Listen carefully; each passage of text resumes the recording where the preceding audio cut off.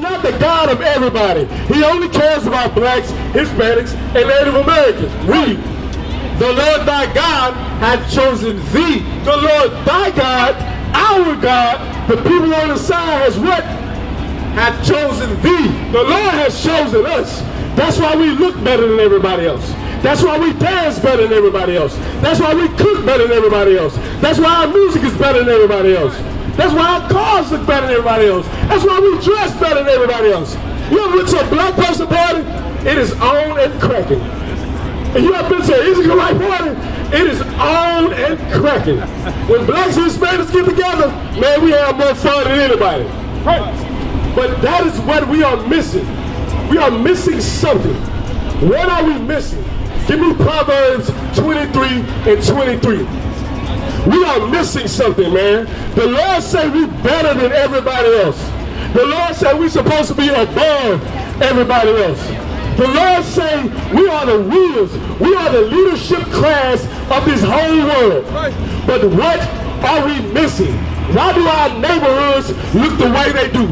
Why are young men out here being sodomites? Why are young women out here being $2 whores? What is going on in the black Hispanic community that has us the way we are? We're going to show you.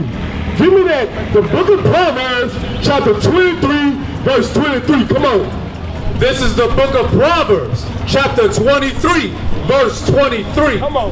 By the truth. The scriptures tell us this, to buy the truth. What is the truth? Psalms 119, 142. Thy righteousness is an everlasting righteousness, and thy law is the truth. The laws of God is the truth. And that is what you are missing in your household, black man, Hispanic man. You are missing the laws of God. You think you can do whatever you want. You think because America says you're free, you can do whatever you want. You think you can be a homosexual, a sodomite. You think you can be a thief.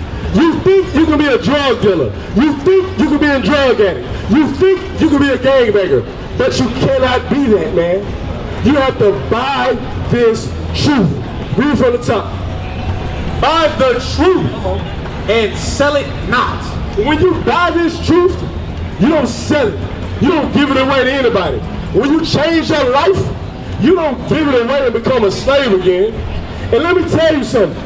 What does it mean to buy the truth and sell it not?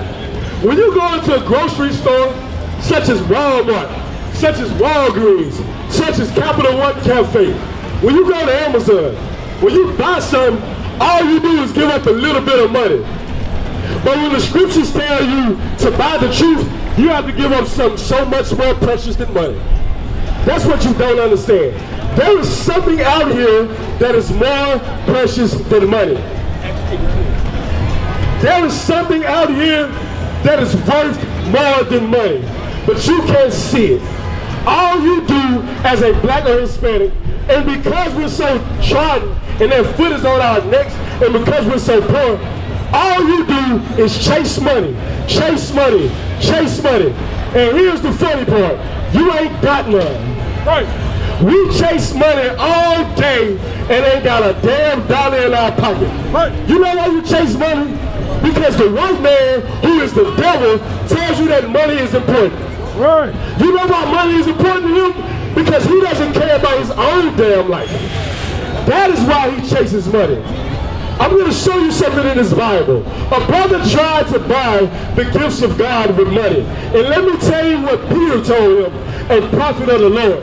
Let me tell you what a, a nigger told him when he tried to buy the truth, when he tried to buy the gifts of God. Read. The book of Acts, chapter 8, verse 20. Come on. But Peter said unto him, Come on. Thy money perish with thee. Thy money perish with thee. I don't give a damn how much money you got. You can't take it with you. You chase money all day and you don't have anything. Money does not make you happy. I know millionaires. I know people that's making six figures and are unhappy. Their life is unsatisfiable. They're so greedy. They chase, they chase, they chase. They run, they run, they run. And they can never catch the finish line. That is what this devil has taught you. to keep running, to keep chasing money. That's all you do, and it never works for you. And let me tell you something. Let me tell you something. Let's keep finishing. Come on. Because thou hast thought that the gift of God may be purchased with money. Because you thought that the gift of God could be purchased by money. That's why every Sunday your black behind is in a Christian church giving this man your money. You don't have anything. You and you think you can buy a blessing. You go in to church and get that Christian pastor, some snake, some pimp your money, and you think you're gonna get a blessing. You think you're gonna get a job because you give some nigga your money.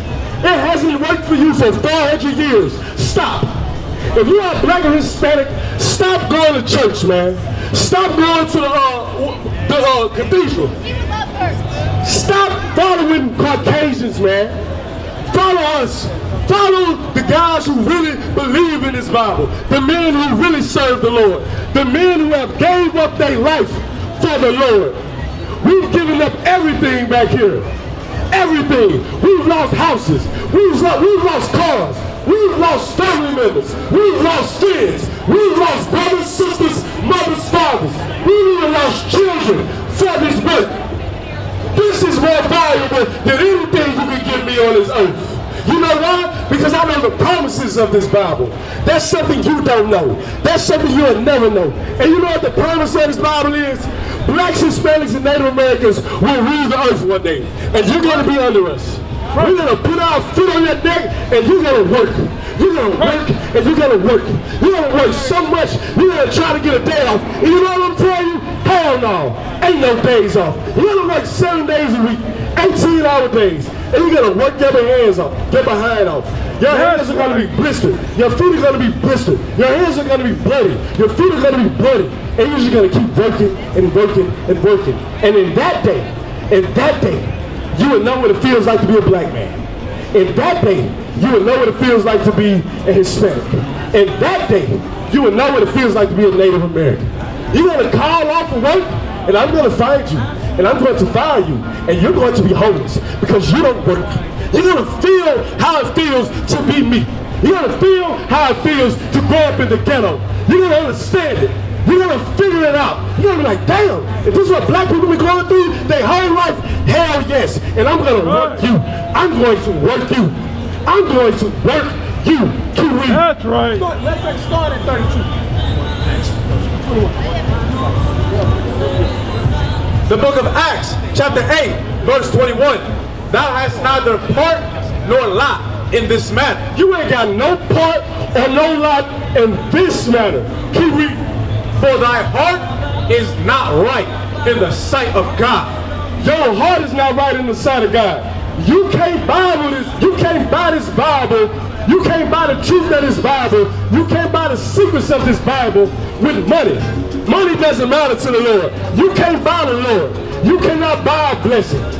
This is how you get the things of the Lord. Set your mind right. Set your heart right. And the Lord will bless you.